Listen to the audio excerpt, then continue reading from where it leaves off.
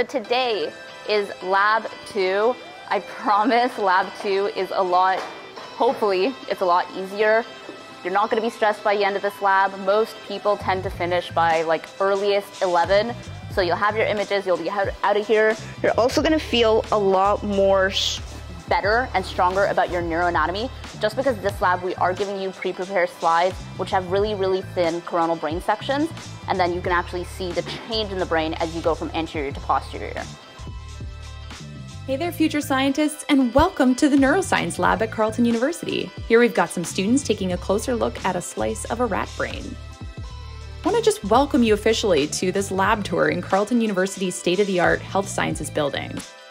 Our labs are packed with top notch gear worth millions of dollars. We're talking high tech microscopes and staining techniques. And with all this amazing equipment, our students can dive into some serious research and exploration.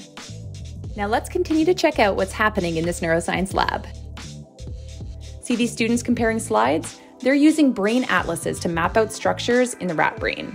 It's like a puzzle, but way more interesting. With these tools, they're getting a real grasp on how the brain works.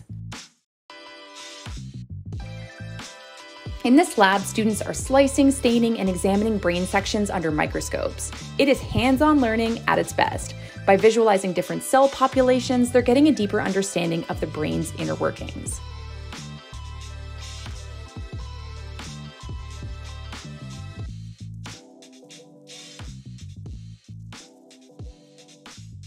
Curious to know, could you picture yourself in this lab one day? Well, if you're ready to explore the world of neuroscience and unravel the mysteries of the brain, Carleton University's neuroscience program is the place to be. Come join us and let's make some amazing discoveries together. See you soon.